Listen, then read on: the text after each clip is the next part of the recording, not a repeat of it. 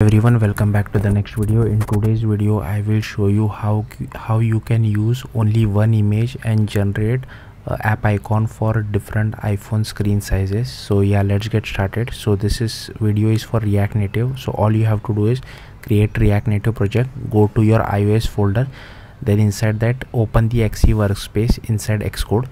Next go to images go to app icon and inside app icon you will have to go to ios over here and just select single size.